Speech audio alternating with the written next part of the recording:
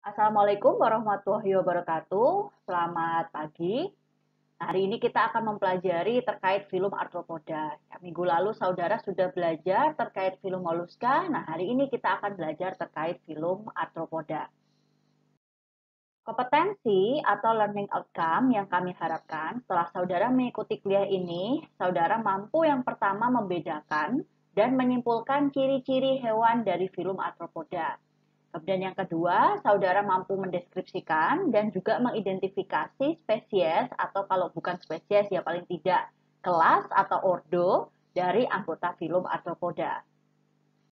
Yang pertama, kita akan membahas dulu ciri-ciri dari anggota film arthropoda ya. Seperti apa karakteristik umumnya eh, hewan-hewan ini bisa masuk ke dalam satu film yaitu film arthropoda. Nah, yang pertama ya kita akan membahas dulu terkait definisi dari uh, arthropoda ya. Di sini nanti akan kelihatan ciri khas dari uh, semua anggota film arthropoda itu seperti apa.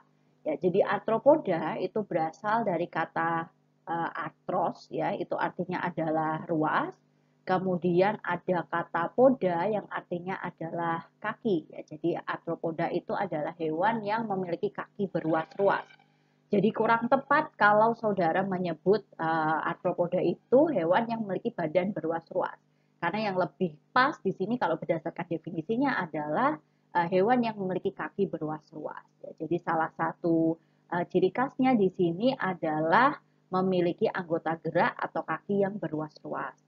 Kemudian yang kedua, uh, exoskeleton, ya, karena tidak memiliki endoskeleton tapi memiliki exoskeleton, semua exoskeletonnya berasal dari bahan kitin. Nah, contoh hewannya di sini ada lipan, ya ada kalajengking, kemudian ada kepiting, udang, serangga dan lain sebagainya itu masuk ke dalam kelompok arthropoda. Nah, kemudian ya berdasarkan gambar ini ya kita bisa melihat bahwa sebetulnya arthropoda ini adalah film hewan yang paling besar. Ya, jadi ada 1.113.000 spesies yang sudah teridentifikasi berdasarkan Rupert ini tahun 2004 ya. Uh, tentu 1.113 spesies yang sudah teridentifikasi ini mungkin kalau dibandingkan yang belum teridentifikasi uh, pasti masih banyak yang belum teridentifikasi ya. Kemudian insekta di sini merupakan golongan yang paling besar uh, jumlah anggotanya jadi kalau dari gambaran ini, insekta ini ada sekitar 5 juta uh, spesies yang diestimasikan ada di bumi, tapi baru 1 juta atau sekitar 20 persennya yang ditemukan. Ya, kemudian arachnida di sini ada 600 ribu spesies ya yang diestimasikan ada di bumi dan baru 17 persen yang ditemukan. Kemudian krustasea di sini juga ada sekitar 150 ribu yang diestimasikan ada di bumi tapi baru 31% saja yang diidentifikasi. Ya, antara mungkin belum dieksplor atau belum terlaporkan ya. Artinya belum memang belum diidentifikasi uh, spesiesnya ya atau memang belum uh, dilaporkan. Kemudian uh, film ini ya arthropoda ini adalah film yang sangat sukses. Didasarkan dari apa? Didasarkan dari keanekaragaman ya, keanekaragaman uh, bentuk, struktur ya, akan berbeda-beda ya mulai dari uh, kelompok uh, Chelicerata itu seperti ini, kemudian Crustacea misal seperti ini, Uniramia seperti ini. Nah, jadi secara struktur sangat beraneka ragam. Kemudian distribusi ya. Jadi uh, Arthropoda ini salah satu film yang sebenarnya bisa saudara temukan di mana pun ya, bisa ditemukan di area yang dingin, bisa ditemukan di area yang uh, panas atau tropis ya bisa ditemukan di banyak tempat dan juga secara jumlah. Jadi merupakan salah satu film yang uh, sukses. Oke, selanjutnya adalah terkait exoskeleton ya. Jadi tadi saya sudah sebut bahwa exoskeleton pada uh, arthropoda di sini berbahan dasar kitin atau kutikula dan itu menutup seluruh badan mulai dari bagian kepala, dada dan juga abdomen. Nah, kutikula di sini uh, terdiri atas kepingan yang tipis sehingga hewan dapat bergerak. Jadi kalau saudara amati juga di antara segmen itu pasti ada bagian yang mirip seperti persendian ya sehingga tetap memudahkan atau memungkinkan bagi hewan itu bisa bergerak bebas. Nah, setiap segmen kutikula tersusun atas empat keping utama. Uh, yang pertama ada kita sebut sebagai terprum ya ada satu di bagian dorsal, Kemudian ada dua di bagian lateral kita sebut sebagai pleura atau pleuron. Kemudian yang ketiga ada satu di bagian ventral yang kita sebut sebagai sternum. Jadi untuk setiap segmennya tersusun atas empat keping utama ini. Nah, berikut ini adalah uh, perbedaan ya perbedaan karakter morfologi antara uh, tiga subfilum yang ada di filum Arthropoda, Chelicerata, Crustacea dan juga Uniramia ada karakter morfologi berupa struktur tubuh, appendages, dan juga alat nafas ya. Untuk struktur tubuh di sini uh, untuk Kelicerata ya ada fusi. Jadi untuk Kelicerata di sini uh, dan juga Crustacea ada fusi antara bagian sefal, bagian kepala dan bagian toraks, bagian dada membentuk suatu bentukan fusi yang kita sebut sebagai cefalotoraks. Sedangkan abdomen keduanya jelas. Nah, berbeda dengan Kelicerata dan juga Crustacea, Uniramia di sini sangat jelas terlihat ya. Saudara bisa bedakan mana sefal, mana toraks, dan mana abdomen. Ya, karena tidak ada fusi antara bagian kepala dan juga dada. Kemudian kalau dilihat berdasarkan appendages ya, sifat appendages pada Crustacea itu biramus ya. Jadi appendagesnya bercabang dua. Sedangkan pada Kelicerata dan Uniramia di sini uniramus. Meskipun pada krustasea juga ada uh, anggotanya ya yang ketika dewasa itu uh, appendagesnya uniramus sekunder ya, tapi tidak bisa disamakan dengan Kelicerata dan juga uniramia. Kemudian antena, di sini hanya Kelicerata saja yang tidak memiliki antena ya. Jadi krustasea ada antena, uniramia juga ada antena meskipun nanti jumlahnya berbeda. Nah, segmen pertama dari Kelicerata adalah Kelicera. Sedangkan segmen pertama pada krustasea adalah antena yang pertama. Sedangkan segmen pertama pada uniramia adalah mandibula, ya, salah satu uh, struktur yang digunakan untuk makan. Kemudian segmen kedua dari Kelicerata adalah pedipalpus. Segmen kedua dari krustasea adalah antena, ya karena krustasea di sini memiliki dua pasang antena. Kemudian pada uniramia, uh, segmen keduanya adalah antena. Kemudian alat nafas, di sini krustasea adalah salah satu uh, hewan akuatik ya, sehingga bernafas dengan insang. Sedangkan Uniramia dan Kelicerata di sini bernafas dengan trakea. Nah, bagaimana sih sebetulnya appendages Uniramus dan Biramus? Ya, jadi di sini saya berikan gambaran. Jadi kalau Uniramus itu seperti ini ya, jadi uh, appendagesnya tidak bercabang ya, hanya ada satu begini. Sedangkan untuk yang Biramus di sini ada percabangan ya jadi ada satu dan dua ya jadi di sini ada percabangan sehingga kita sebut sebagai uh, biramus sedangkan yang kiri ini kita sebut sebagai uniramus Nah, selanjutnya adalah terkait klasifikasi ya pada filum arthropoda. Nah, filum arthropoda di sini sebetulnya memiliki uh, empat subfilum ya. Jadi ada yang pertama adalah Trilobitomorpha, yang kedua adalah Kelicerata, yang ketiga Crustacea, dan yang keempat Uniramia. Hanya saja di sini Trilobitomorpha ini sudah uh, punah ya, semua spesies, uh, semua anggotanya sudah punah sehingga tidak lagi dibahas. Yang menjadi fokus bahasan nanti adalah dari kelompok Kelicerata, kemudian subfilum Crustacea dan juga subfilum Uniramia. Ya, di sini nanti Kelicerata, Crustacea dan juga Uniramia akan dibedakan atas dasar struktur tubuh dan juga appendagesnya. Oke, yang pertama kali kita akan bahas adalah dari subfilum Kelicerata. Ya. Jadi subfilum Kelicerata di sini tadi saya sudah sebut bahwa sefal dan toraksnya berfusi ya sehingga tubuhnya hanya terdiri dari dua bagian yaitu yang pertama adalah cefalotoraks, yang kedua adalah abdomen. Nah, cefalotoraks pada Kelicerata kita sebut sebagai prosoma Sedangkan uh, abdomen pada Kelicerata kita sebut sebagai opistosoma. Jadi ini adalah istilah untuk menyebut cefalotoraks dan abdomen pada kelompok Kelicerata. Uh, Kelicerata tidak memiliki antena, ya, jadi nanti appendages yang pertama adalah Kelicera, yang berupa alat makan, jadi nanti bentuknya kuat seperti kelipet begitu ya, fungsinya adalah untuk membantu untuk makan. Kemudian appendages yang keduanya adalah pedipalpus. Berapa banyak tungkainya? Ya tungkainya ada empat pasang di sini. Salah satu contoh yang paling mudah untuk saudara bayangkan adalah laba-laba ya. Jadi laba-laba ini masuk ke dalam uh, subfilum Chelicerata. Ada empat tungkai, empat pasang tungkai. Ya, area yang ini berarti kita sebut sebagai prosoma ya, jadi cephalothorax bagian anterior. Di bagian posterior ada opistosoma. Kemudian appendages yang pertama ya ini adalah Chelicera. Appendages yang keduanya adalah pedipalpus. Nah, untuk uh, subfilum Chelicerata di sini terbagi menjadi tiga kelas ya. Yang pertama adalah Merostomata, kemudian yang kedua adalah Arachnida, dan yang ketiga adalah Pycnogonida. Ya, jadi di sini ada uh, dari kelompok ini Pycnogonida ya. Jadi uh, biasa kalau ini biasanya ada di dasar laut ya di perairan Kemudian merostomata di sini kelicerata salah satu kelicerata yang sebagian besar uh, anggotanya adalah akuatik dan yang ketiga di sini ada arachnida ya. Di sini dari ada perwakilan dari hewannya kalajengking di sini. Nah, sekarang kita akan bahas dulu terkait uh, merostomata ya. Jadi kelas merostomata.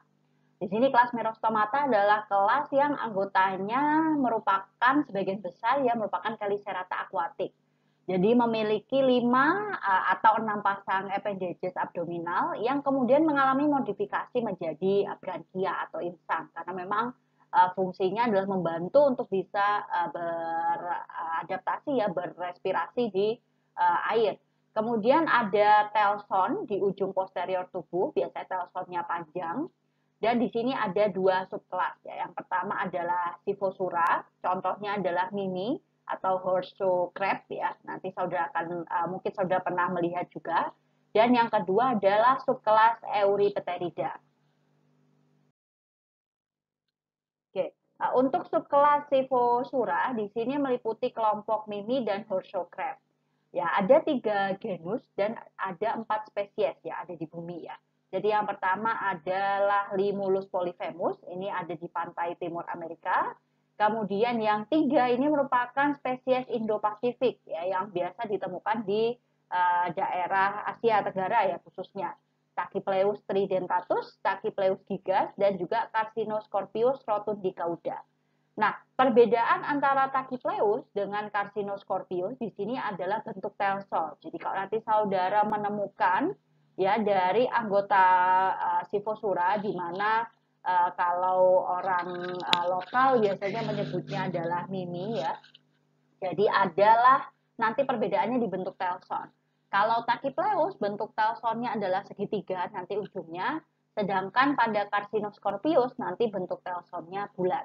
Ya, jadi itu yang membedakan antara kedua genus tersebut karena memang ada ya di daerah Asia Tenggara dan mungkin sekali bisa ditemukan di daerah Indonesia. Nah, ini contohnya adalah mimi ya. Jadi untuk mimi bentukannya seperti ini. Ini kalau tanpa dorsal, sedangkan ini yang tanpa ventral. Jadi kalau ujung telsonnya ini uh, segitiga bentuknya ya maka genusnya adalah Tachypleus. Nah, di sini ada bagian jadi ini ini ini bukan bagian anteriornya ya. Jadi di sini ini adalah telson. Jadi otomatis bagian yang dekat dengan telson ini adalah abdomen atau opistosoma. Sedangkan bagian yang ini adalah prosoma. Nah, matanya berupa uh, di sini ya, matanya di sini. Kemudian kalau keliseranya harus saudara balik, kalau saudara mau melihat appendagesnya, itu harus saudara balik di bagian ventral. Di sini ada kelisera, kemudian ada lex ya, ada tungkai, Kemudian tungkai di bagian belakang di sini banyak termodifikasi untuk menjadi uh, insang ya untuk membantu uh, proses respirasi yang ada di dalam air. Oke, selanjutnya adalah dari kelas arachnida. Jadi untuk kelas arachnida di sini meliputi laba-laba, kemudian kalajengking, kemudian tungau, uh, caplak ya ini masuk ke dalam kelompok arachnida. Habitatnya ada di mana? Habitatnya ada di darat, air maupun menjadi parasit ya di uh, inang. Kemudian epikutikulannya berlilin, di sini fungsinya adalah untuk mencegah hilangnya air, kemudian bernafas dengan trakea dan juga buklang. Kemudian appendages uh, otomatis termodifikasi untuk uh, menyesuaikan diri di kehidupan darat ya karena sebagian besar memang hidup di darat meskipun ada juga yang hidup di air. Nah, kemudian uh, kebanyakan arachnida di sini segmentasinya tidak begitu tampak ya karena berfusi. Ya. Jadi misalkan di bagian uh, cephalotorax di sini segmen tidak begitu kelihatan ya karena uh, berfusi Kemudian pada tungau segmentasinya menghilang ya, sehingga abdomen berfungsi dengan prosoma menjadi satu badan ya. Jadi uh, spesifik untuk beberapa taksa.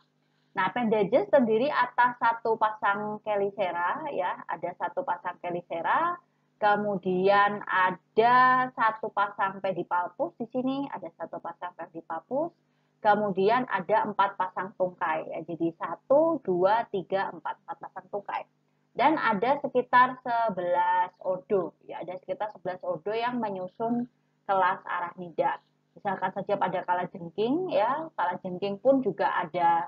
Eh, dan untuk setiap uh, spesies tentu punya karakteristik masing-masing ya. Misalkan pada kala jengking uh, di bagian belakang diri di sini ya di bagian telsonnya sini ada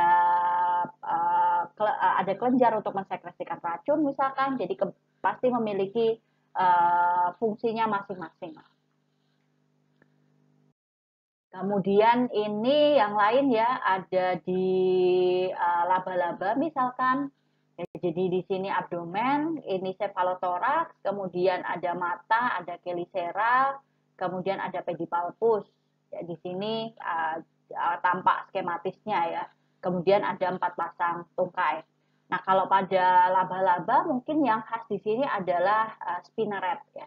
Spinneret di sini adalah uh, organ yang berfungsi untuk menghasilkan benang, di mana di sini benangnya akan dipakai untuk membuat sarang, untuk defense atau pertahanan ya. Jadi untuk setiap uh, taksa pasti memiliki uh, ciri khas masing-masing ya, apalagi untuk menunjang dia bisa beradaptasi untuk hidup.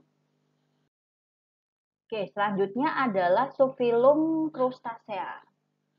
Jadi untuk subfilum crustacea di sini uh, tubuh ya tubuh terdiri dari asefal dan toraks yang berfungsi di sini dan juga abdomen. Jadi ada yang menyebut uh, itu memiliki takma sefal, takma toraks dan takma abdomen. Tapi ada juga yang menyebut uh, memiliki dua takma ya, takma sefalotoraks dan juga takma abdomen. Nah, di sini kepala dan dada jelas ya. Saudara sudah uh, bisa mema uh, sudah tahu juga, misalkan di udang atau kepiting, bahwa kepala dan dada pada anggota film prostacea, subfilum prostacea, di sini menyatu menjadi cephalothorax. Kemudian terdapat lembaran penutup atau karapak. Kemudian kepala di sini ber, uh, merupakan hasil fusi dari lima segmen, di mana masing-masing segmen itu ada epididisnya masing-masing. Ya, jadi segmen yang pertama ada antena, kemudian ada antena dua di segmen kedua, kemudian ada satu pasang mandibula di segmen ketiga, dan ada dua pasang maksila di segmen keempat dan kelima.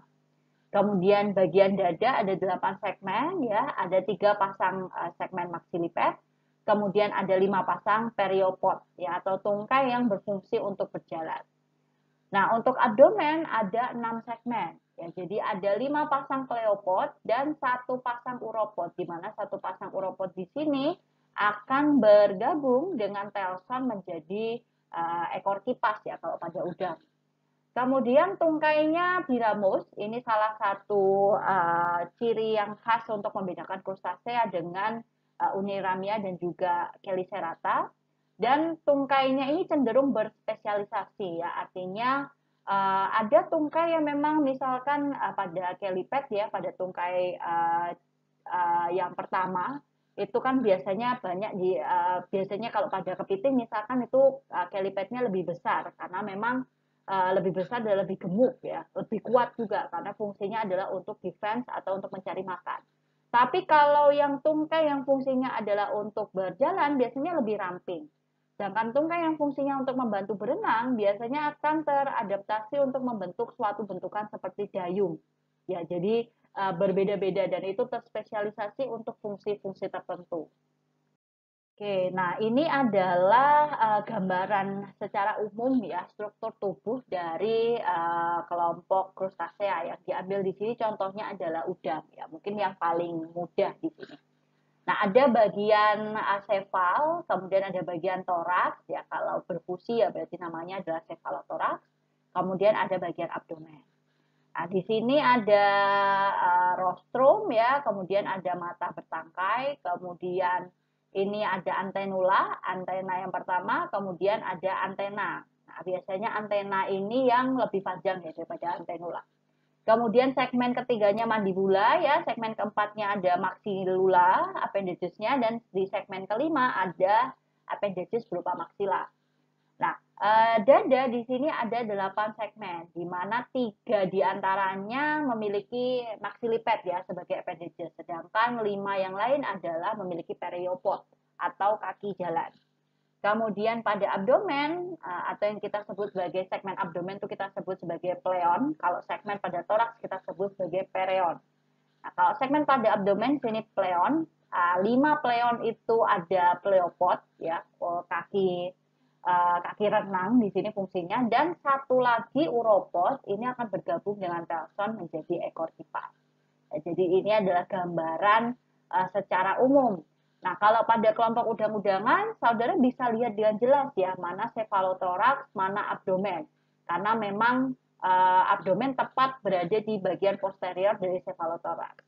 Tapi pada kelompok kepiting mungkin agak berbeda, karena nanti di kepiting kan bagian abdomennya melipat ke arah uh, ventroanterior ya. Jadi melipat perutnya melipat ya, tapi ke arah depan sehingga bagian yang nampak ketika saudara melihat dari uh, dorsal ataupun dari uh, dari dorsal ya dari dorsal itu adalah bagian uh, saja karapaksnya ya. Tapi kalau bagian abdomen ya harus saudara balik baru kemudian saudara tahu abdomennya sebelah mana. Tapi kalau udang di sini sudah jelas karena memang abdomen itu ada di posterior dari bagian cephalothorax Nah, ini terkait dengan appendages ya. Jadi di sini uh, bagian pertama yang dekat dengan uh, tubuh ini adalah bagian yang kita sebut sebagai uh, koksa, ya. kemudian basium, kemudian isium, kemudian merus, carpus, propodus, dan juga dactylus.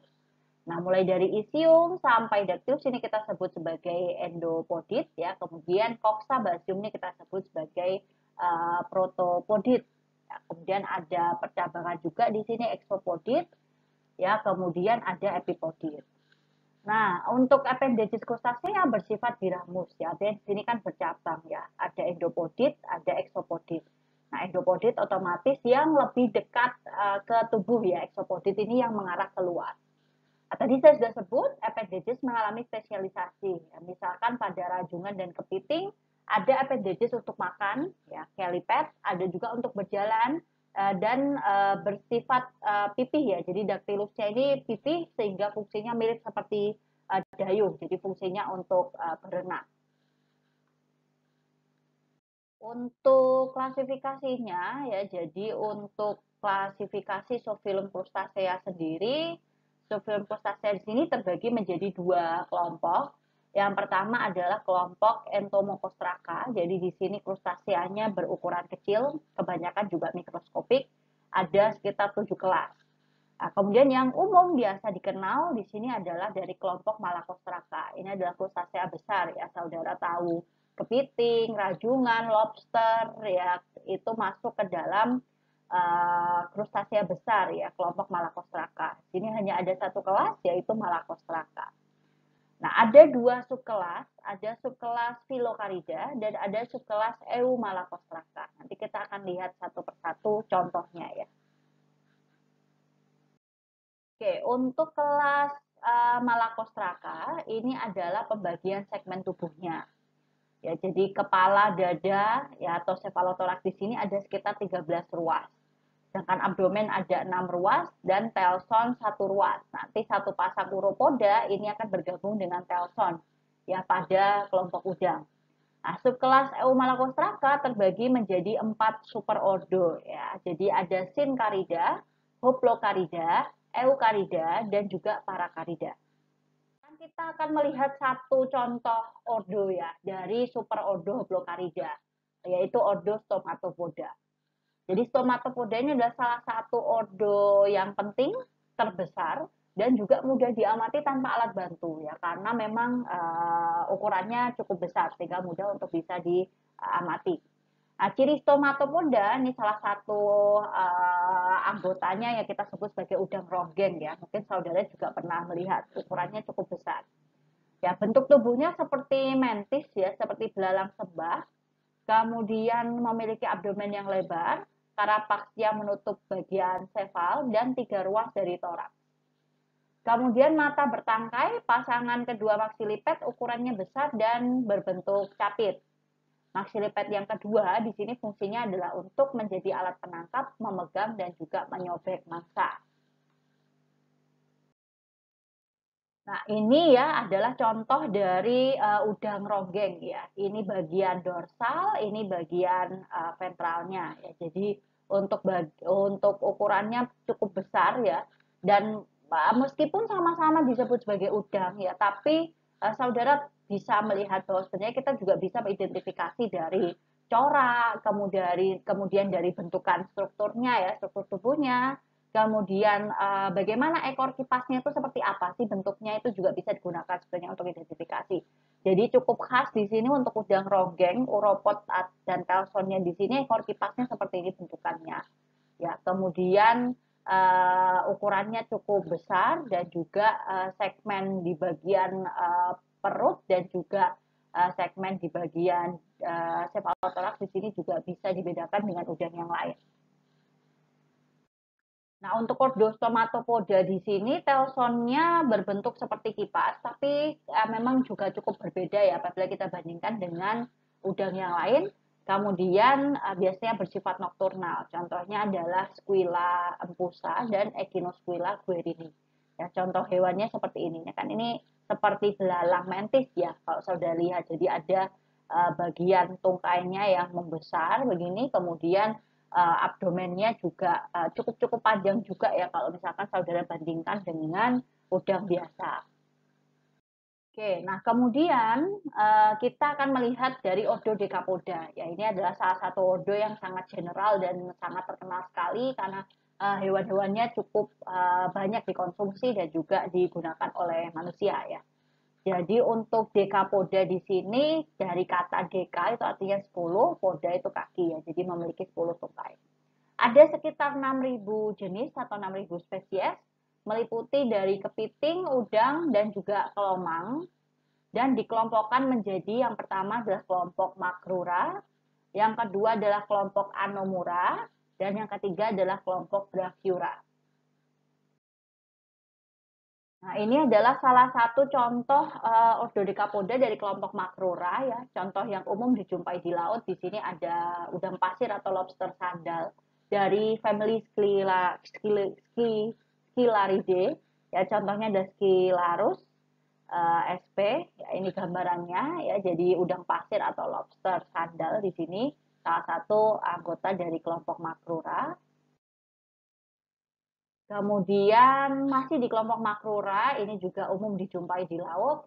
Ada Paniluridae dari family Paniluridae, yaitu nama lokalnya adalah udang barong atau lobster berduri atau udang karang. Habitatnya ada di perairan karang sampai kedalaman sekitar 100 meter ya. Di sini cukup banyak uh, jenisnya, ada 14 jenis dan 7 jenis ada di Indonesia yaitu Panulirus homanus, Panulirus penicillatus, Panulirus longipes, Panulirus polyphagus, Panulirus versicolor, Panulirus ornatus, dan Panil, Panilirus dacipus. Ya. Contohnya adalah seperti ini ya. Ini uh, udang barong atau lobster berduri. Ya, ini kan juga saudara bisa melihat bahwa bentukan kipasnya ya, ekor kipasnya juga berbeda ya dengan udang rogen yang tadi. Kemudian selanjutnya ada juga masih di kelompok makrura. Ini juga umum dijumpai di laut ya. Ini saudara sudah sangat familiar Penaeus monodon atau udang windu di mana di sini udang windu merupakan salah satu komoditas uh, ekonomi yang cukup uh, familiar untuk para uh, orang-orang yang bergerak di bidang perikanan di Indonesia ya salah satu uh, bahan yang juga diekspor juga salah satu komoditi ekspor ya ini Penaus monodon atau udang.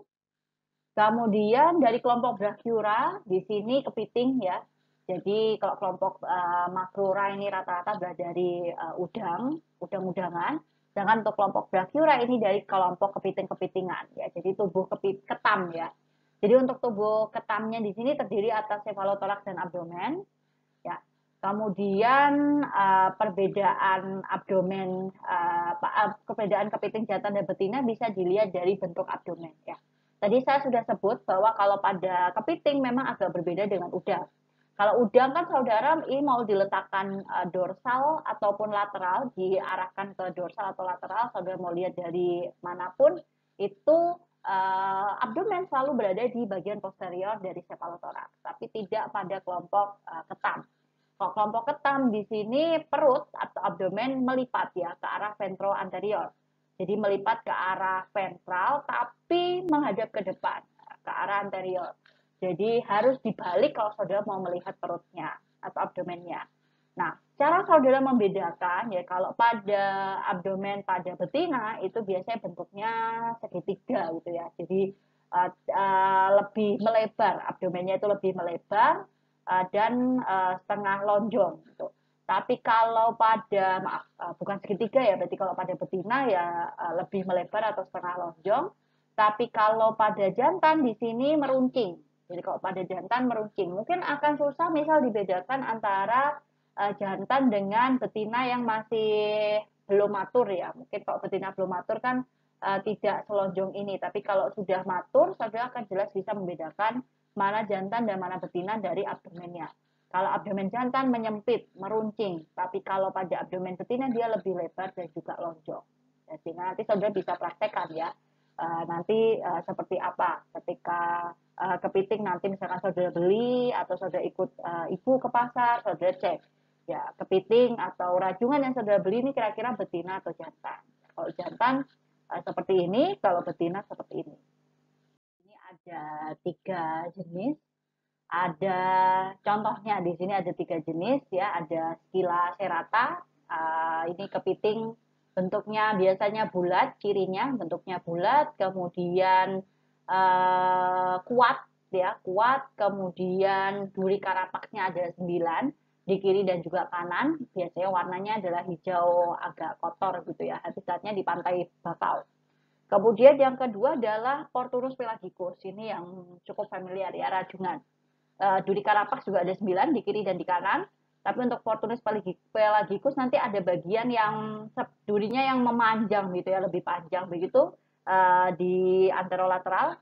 Kemudian ada kalau jantan warna dasarnya biru berbecak putih, kalau betina warna dasarnya hijau uh, bercak putih juga. Biasanya ada di pantai pasir atau lumpur.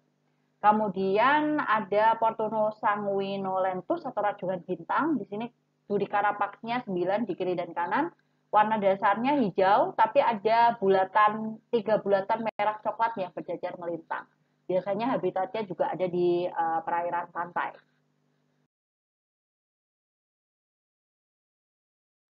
Nah, mungkin untuk uh, untuk saudara sendiri ya, mungkin uh, paling tidak saudara harus bisa membedakan mana skila ya, mana kepiting dan mana rajungan.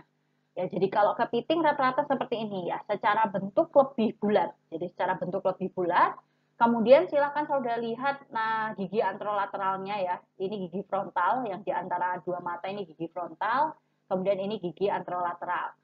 Nah, kalau pada uh, rajungan ya, kalau pada rajungan itu biasanya ada duri ya, ada gigi anterolateral yang lebih panjang daripada gigi anterolateral yang lain. Ya, jadi sini kan ada satu bagian yang lebih panjang ya. Kalau pada uh, kepiting tidak ya, semuanya sama. Kemudian saudara lihat lagi dari kelipet, ya, dari kapitnya. Kalau dari capitnya, kalau pada kepiting dia lebih gemuk, lebih besar, lebih lebih kuat, lebih, ya, lebih gemuk. Kalau pada pada rajungan dia lebih langsing, ya, jadi uh, lebih langsing kalau bila dibandingkan dengan kepiting. Kemudian satu lagi saudara amati warna, ya amati warnanya. Kalau pada kepiting rata-rata warnanya mungkin lebih kusam ya dan uh, warnanya tidak semenarik pada rajungan. Kok rajungan biasanya uh, warnanya lebih hijau, biru ya, kemudian ada coraknya, ada pola-polanya. Tapi kalau pada skila di sini ya skila serata di sini warnanya lebih kusam. Nah, warnanya lebih kusam, sedangkan pada Portunus pelagicus warnanya lebih cantik dan ada pola-polanya. Jadi paling tidak saudara bisa membedakan ini dulu lah ya, kepiting dan rajungan itu seperti apa perbedaannya. Oke, kemudian dari kelompok Anomura ya. Jadi Anomura ini adalah kelompok peralihan antara makrura ke brachiura. Contohnya adalah kelomang atau kepiting pertapa.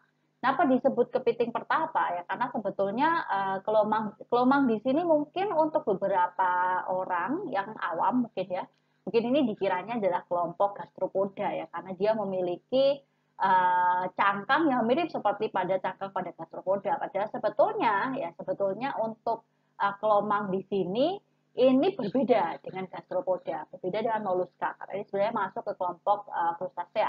Jadi kelomang di sini sebenarnya tidak memiliki cangkang asli ya. Jadi artinya uh, kenapa disebut kepiting pertapa? Karena ketika misalkan ada cangkang lain yang kosong atau ada struktur lain yang kosong bisa dia tempati sebagai rumah, kemudian bisa dia bawa ke mana-mana ya, maka itu yang akan dipakai. Ya, jadi ini bukan kelompok gastropoda karena sebenarnya cangkangnya di sini adalah bukan milik dari si hewan ini. Ya, jadi uh, cangkang di sini ya dia uh, menemukan cangkang misalkan kosong tidak ada yang uh, tidak ada hewannya ya, maka dia akan pakai dan dibawa ke mana-mana ya. Oleh karena itu kita sebut sebagai kepiting pertapa di sini ya atau kelomang. Jadi jangan keliru ya kalau saudara melihat uh, saudara cek ya ini kelompok moluska betul gastropoda atau bukan. Mungkin ini adalah uh, kelomang ya masuk ke kelompok anomura dan bukan merupakan anggota moluska tapi anggota dari arthropoda. Oke, nah yang terakhir di sini adalah uh, uniramia. Suphilum uniramia. Ciri khasnya sefal dan toraks tidak berfusi, ya, jadi jelas sudah bisa bedakan sefal, toraks, dan abdomen. Kemudian appendagesnya uniramus tidak bercabang dan memiliki sepasang antena yang berasal dari segmen kedua. Nah, uh, agak berbeda dengan anggota yang lain ya. Untuk Uniramia di sini sebagian besar anggotanya memiliki sayap. Ya, meskipun nanti ada juga uh, yang tidak memiliki sayap, tapi ada sebagian yang memiliki sayap ya. Kemudian alat pernafasannya berupa trakea dan alat ekspresinya berupa tubulus malpighi. Nah, subfilum Uniramia di sini dibagi menjadi beberapa kelas ya. Jadi ada lima kelas. Yang pertama ada kilopoda, yang kedua adalah diplopoda, yang ketiga simfila, yang keempat pauropoda, dan yang kelima adalah insekta. Nanti kita akan membahas lebih detail tiga dari lima kelas ini ya. Jadi yang nanti akan dibahas lebih detail adalah kilopoda, diplopoda, dan juga insekta. Ya, jadi uh, tiga kelas ini yang sangat familiar, yang umum saudara jumpai di kehidupan sehari-hari. Oke, yang pertama kita akan bahas dulu terkait kelas kilopoda. Ya, jadi kelas kilopoda karena masuk ke dalam filum Uniramia, otomatis tub, uh, subfilum Uniramia, maka tubuhnya dengan jelas dapat terbagi menjadi kepala, badan, dan telson. Di kepala nanti akan ada antena ya, jadi di kepala ada antena, Kemudian pada rahang akan terdapat gigi dan seta yang tebal. Nah, mulut di sini tertutup oleh semacam cakar yang kita sebut sebagai maxilliped. Di ujung cakar ini ada taring runcing yang merupakan e, muara dari kelenjar bisa ya. Jadi kalau misalkan ini contohnya adalah e, kelabang ya, jadi skolopendra. Jadi kalau skolopendra itu kan di bagian uh, ujung cakar ya uh, di bagian mulut itu di ujung cakarnya ada semacam cakar yang memang ada kelenjar bisanya ya. Jadi ketika tersengat ada rasa sakit yang dihasilkan. Oke, kemudian di sebelah posterior segmen pertama itu terdapat 15 atau lebih segmen. Ya, ini tergantung dari jenisnya. Di tiap segmen memiliki sepasang tungkai. Nah, ini yang nanti akan membedakan antara kilopoda dengan diplopoda. Karena diplopoda nanti akan ada segmen yang uh, merupakan hasil fusi ya sehingga ada dua pasang tungkai di dalam satu segmen. Tapi kalau pada kilopoda di tiap segmen akan memiliki satu pasang tungkai. Antara segmen terakhir dan juga telson akan ada dua segmen kecil, di mana segmen ini merupakan segmen pregenital atau segmen genital. Ya. Itu ada berarti untuk uh, fungsinya adalah untuk reproduksi. Kemudian ada sepasang tungkai terakhir yang terpanjang merupakan alat proteksi atau defense. Ya, misalkan ini gambaran skematisnya. ini bagian kepala ya, kemudian ini ada antena, kemudian ini otomatis ada akan ada root, ada ada cakar yang atau rahang yang beracun. Kemudian di sebelah posterior dari segmen pertama ini ada sekitar 15 segmen. Kemudian tiap segmen akan memiliki satu pasang tungkai saja. Ya, ini akan membedakan nanti dengan diplopoda.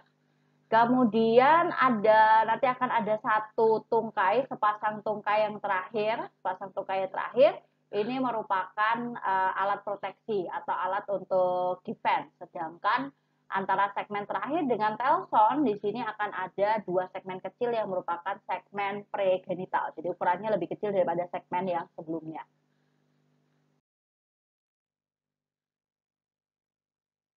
Nah, untuk kilopoda sendiri dibagi menjadi dua subkelas. Yang pertama adalah subkelas epimorpha. Uh, ada dua ordo dalam subkelas epimorpha, ada lithobiomorpha dan scutigeomorpha. Kemudian ada subkelas anamorpha. Di anamorpha ada ordo geofilomorpha dan scolopendromorpha. Nah, di sini kita lihat dulu subkelas epimorpha ya untuk melihat nanti perbedaannya dengan anamorpha. Jadi untuk subkelas epimorpha sebetulnya untuk anggotanya ya itu secara struktur yang mirip ya, secara general seperti tadi ada bagian ada segmen kepala, kemudian ada setelah segmen yang pertama ada sekitar 15 sampai lebih segmen, kemudian ada dua segmen terakhir yang merupakan segmen pregenital. Tapi di sini untuk anggota subkelas epimorpha itu anggotanya mengerami telurnya, ya, jadi telurnya dirami, Kemudian hewan yang menetas dari telur di sini sudah mempunyai segmen yang lengkap seperti hewan dewasa. Nah, ordo Geophilomorpha di sini mempunyai 31 sampai 170 pasang tungkai. Sedangkan ordo Scolopendromorpha mempunyai sekitar 20 sampai 23 pasang tungkai. Contohnya yang paling terkenal ya kelabang ya, Scolopendra. Nah, perbedaannya dengan ana ya perbedaannya dengan anamorpha kalau anamorfa di sini dia tidak mengerami telur. Kemudian hewan dewasa hanya memiliki sekitar 15 tungkai. Nah, perbedaan antara ordo lithobiomorpha dengan Scutigeromorpha, kalau lithobiomorpha di sini mempunyai spirakul, uh, spirakulum yang berpasangan ya. Uh, jadi oh, kalau pada Scutigeromorpha spirakelnya tidak berpasangan, tapi kalau pada lithobiomorpha spirakelnya berpasangan ya contohnya lithobius ya jadi kan ya mirip ya secara general uh, mirip strukturnya tapi ada perbedaan antara uh, epimorfa dengan anamorfa. Oke, selanjutnya adalah uh, diplopoda. Nah, diplopoda ini meliputi cluing atau kaki seribu, ya, uh, terdiri dari kepala badan telson, kemudian ada dada ya, kemudian mempunyai diplosegmen, jadi ada segmen yang uh, merupakan hasil dari fusi dari dua somit ya. Jadi uh, sebenarnya segmen ini adalah uh, berganda karena merupakan fusi dari dua somit membentuk satu segmen. Karena diplosegmen otomatis uh, tungkainya juga berpasangan ya, tapi tidak semua segmen nanti berupa diplosegmen. Nah, misalnya di sini gambaran skematis dari cluing ya, jadi ada bagian kepala, kemudian ada uh, nanti ada bagian kolum ya, bagian leher, kemudian baru bagian segmen tubuh. Di bagian paling terakhir nanti ada segmen anal ya, yang fungsinya nanti uh, merupakan bagian yang paling belakang ya. Nanti bisa untuk uh, ekspresi dan lain sebagainya. Nah, segmennya terdiri dari tergum, pleura, dan dua sternum. Kemudian segmen yang pertama uh, kolom ya. Segmen yang pertama ini segmen tepat yang berada di bagian belakang kepala. Jadi segmen yang pertama ini tepat berada di bagian posterior dari kepala yang kita sebut sebagai kolom. Ya, jadi kolom tanpa tungkai ya membentuk bentukan seperti leher atau kolar yang ada di belakang kepala. Nah, segmen kedua, ketiga, keempat itu bukan merupakan segmen ya. Jadi hanya memiliki satu pasang tungkai. Ya, gambarannya seperti ini. Ini kalau tampak lateral ya, di sini bagian kepala. Kemudian tepat di bagian kepala ini ada segmen yang pertama, yaitu kolom, ya, membentuk bagian seperti leher. Kemudian segmen kedua, ketiga, keempat ini merupakan uh, segmen yang hanya memiliki satu pasang tungkai, bukan merupakan diplosegmen. Sedangkan segmen kelima, enam, dan seterusnya ini pasti memiliki dua pasang tungkai. Ya, oleh karena itu mungkin diberi nama kaki seribu gitu ya, karena memang tungkainya banyak. Tuh. Tapi seribu atau tidak ya saudara harus hitung sendiri begitu kan, sesuai dengan segmennya.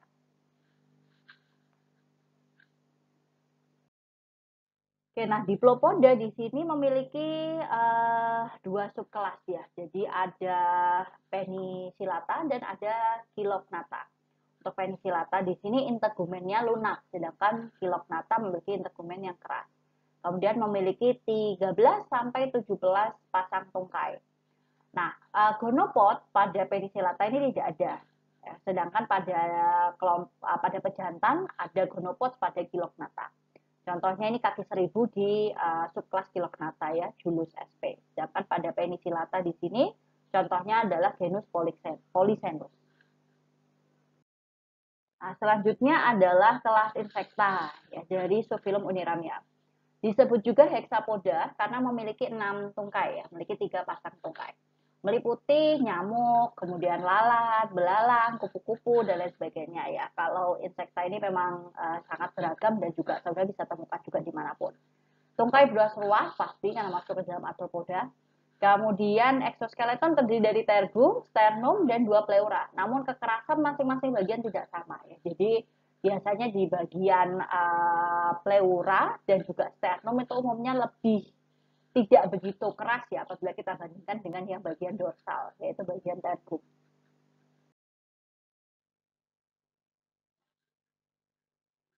Nah, tubuh terdiri dari tiga bagian, sefal, toraks, dan abdomen. Semuanya bisa dibedakan uh, secara jelas. Kemudian toraks, di, di toraks di sinilah ada tiga pasang kaki dan dua pasang sayap ya. Di sini maaf ini belum ditulis dua pasang sayap. Jadi ada tiga pasang kaki dan dua pasang sayap di bagian toraks. Nah, sayap di sini bisa digunakan untuk identifikasi, paling tidak masuk ke dalam ordo apa ya. Jadi sayap ini adalah salah satu uh, kunci ya, salah satu ciri khas dari uh, insekta. Meskipun ada juga uh, anggota insekta yang tidak memiliki sayap, tapi sayap ini bisa digunakan untuk identifikasi paling tidak adalah ordo. Nah, contohnya gambaran umum strukturnya seperti ini ya. Jadi ada bagian kepala, Nanti ada tiga segmen di bagian dada atau toraks ya, masing-masing ada tiga pasang, ada satu pasang tungkai dan ada dua pasang sayap di sini ya, di mesotoraks dan di metatoraks. Nah, sayap sini yang akan digunakan sebagai identifikasi ya, nanti seperti apa struktur sayapnya sehingga bisa dimasukkan ke dalam ordo apa eh, serangga tersebut.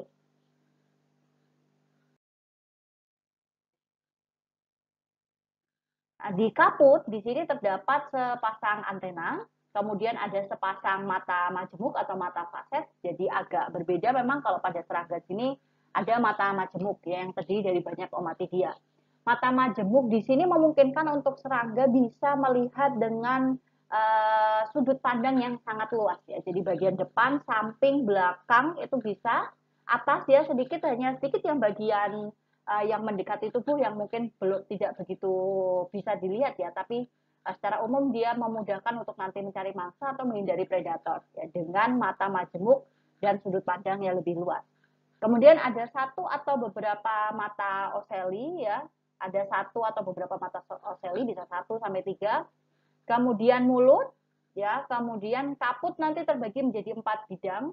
Uh, ada front bagian depan, kemudian vertex, Kemudian jena ya, jena itu di bagian uh, pipi, pelipis dan juga oksiput ya di bagian belakang. Vertex itu di kening.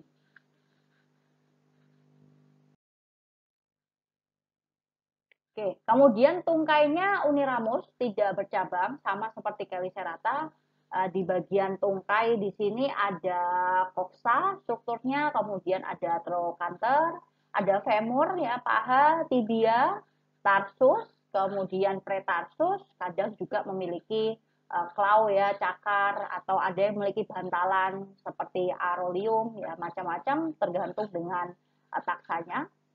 Kemudian tipe tungkainya juga bermacam-macam ya uh, teradaptasi untuk uh, khususnya untuk mencari makanan ya dan juga beradaptasi untuk hidup di darat atau di air misal jadi ada saltatorial, kemudian ada yang raptorial. Jadi saltatorial ini untuk melompat, Kemudian ada raptorial ini adalah untuk uh, memangsa ya. Jadi kalau raptorial ini misalkan pada belalang mantis, jadi kalau tungkai bagian belakangnya agak tipis ya, bukan tipis, kecil ya, agak langsing gitu, tapi tungkai bagian depannya sangat sangat sangat sangat besar gitu. Jadi fungsinya di sini adalah untuk menangkap mangsa. Kemudian kursorial, kemudian ada fosorial. Kursorial itu, itu untuk berjalan cepat beradaptasi misalkan pada uh, kecoa ya itu kursorial kemudian fosorial ini untuk menggali karena beberapa serangga hidup di batuan sehingga uh, dia banyak uh, tungkainya teradaptasi untuk bisa men, menggali dan juga natatorial ini yang uh, dihidup di area berair ya Nah, di abdomen terdiri dari sekitar 9 sampai 11 segmen dan ada spirakel di setiap segmen ya, fungsinya untuk respirasi. Nah, misalkan ini ya sekitar ada sekitar 9 sampai 11 segmen. Nah, di setiap segmennya nanti di bagian uh, kanan dan kiri ya pasti akan ada sepasang uh. Kemudian untuk appendages ada serki yang merupakan alat sensor. Kemudian organ reproduksi luar ada ovipositor pada serangga betina Kemudian ada clasper ini untuk uh, memegang ya, memegang pada saat reproduksi, pada saat kopulasi dan edeges yang uh, serupa dengan penis ya pada serangga jantan.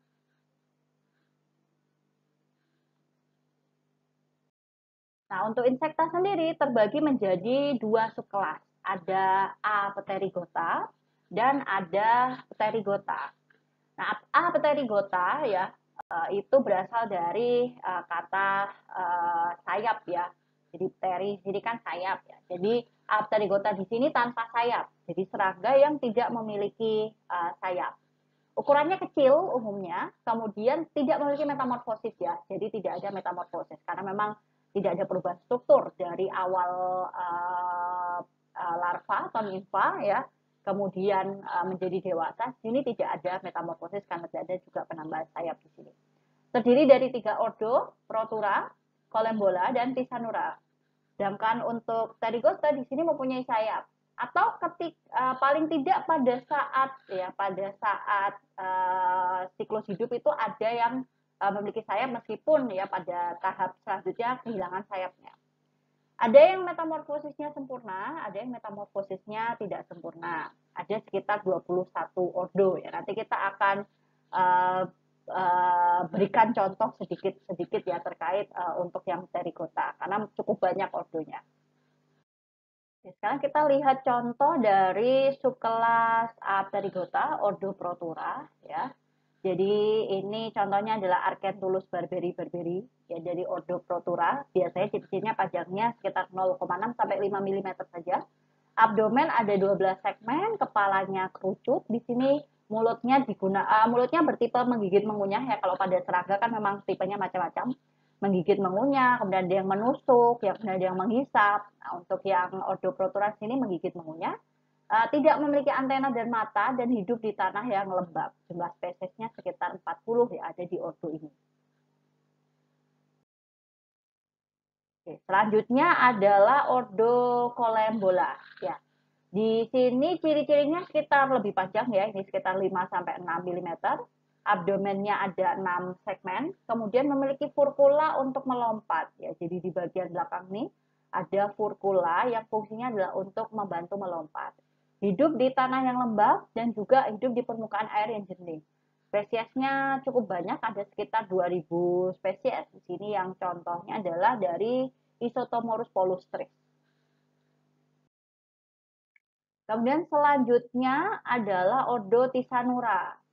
Jadi Tisanura di sini ukuran tubuhnya kecil, tapi lebih besar daripada kolembola ya.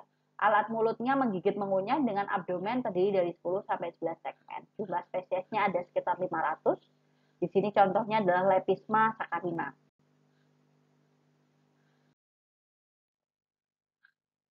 Nah, selanjutnya adalah subkelas Pterygota ya yang bersayap. Ini kira ada beberapa yang mungkin uh, bisa diberi contoh di sini. Yang pertama adalah diftera.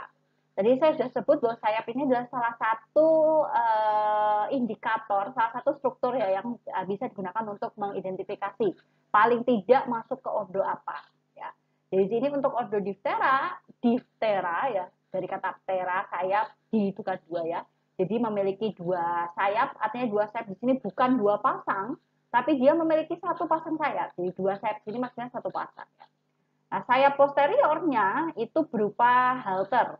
Ya, jadi punya uh, hanya punya satu pasang sayap, tapi satu lagi ya kan otomatis jadi tidak imbang ya karena kalau secara normal kan mau punya dua pasang sayap, tapi yang satu di sini tidak ada, otomatis harus ada sesuatu yang menyeimbangkan. Nah, sayap posteriornya ini diseimbangkan oleh uh, struktur yang kita sebut sebagai halter. Contohnya di sini nyamuk ya, uh, Aedes aegypti. Jadi di sini sayap ya sudah bisa lihat. Nah di sebelah sini ini ada struktur yang kita sebut sebagai halter yang fungsinya untuk menyeimbang dan juga untuk deteksi. Kemudian yang kedua, di sini Coleoptera ya, Tera coleus. Jadi serangga yang punya sayap berseludar. Misalkan pada Sitophilus orize ya, jadi agak berbeda ya. Jadi sayapnya berseludar di sini. Contohnya untuk Sitophilus orize di sini merupakan kutu beras. Ya, biasa ditemukan di uh, beras. Kemudian selanjutnya ada Lepidoptera. Ini pasti uh, serangga yang saudara sudah sangat familiar. Ya, jadi serangga di sini punya sayap yang bersisik. Lepis itu artinya sisik ya. Jadi kalau saudara misalkan pernah memegang kupu-kupu atau ngengat, ya kupu-kupu kupu-kupu atau ngengat itu punya sayap yang kalau saudara sentuh itu sayapnya seperti bersisik ya. Kemudian seperti mudah lepas gitu kan. Contohnya di sini adalah Bombix mori, ulat sutra uh, ini ngengat ya seperti ini ya. Jadi gambarnya seperti ini, jadi serangga punya sayap bersisik. Kemudian yang keempat ada hemiptera. Hemiptera, jadi hemi itu kan uh, setengah separuh. Jadi sayap depannya disebut hemiptera karena tidak mempunyai ketebalan yang sama atau hanya separuh saja. Misalkan pada walang sangit di sini. Jadi uh, untuk walang sangit Leptocoryxa acuta ini uh, mempunyai sayap yang ketebalannya berbeda sehingga masuk ke dalam kelompok Hemiptera. Ya, jadi dari sebenarnya masih banyak sekali ordo yang uh, bisa saudara uh, pelajari sendiri ya. Uh, jadi rata-rata memang kalau ordo pada subpterigota itu didasarkan dari uh, bagaimana sih karakteristik dari sayapnya sehingga bisa dikelompokkan. Nah, paling tidak saudara tahu pengelompokan untuk uh, insekta itu dari ordonya ya. Jadi uh, dari sayapnya saudara tahu oh ini kira-kira masuk ke kelompok ordo yang mana. Sebenarnya masih banyak sekali ya contoh-contoh yang mungkin bisa dipelajari sendiri karena keterbatasan waktu. Nah, saya akhiri untuk penyampaian materi film arthropoda hari ini. Terima kasih. Kita bertemu lagi di video pembelajaran berikutnya. Wassalamualaikum warahmatullahi wabarakatuh. Selamat pagi.